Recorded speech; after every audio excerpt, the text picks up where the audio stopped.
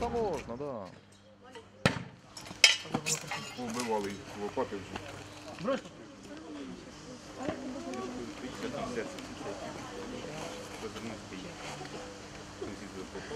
Давай.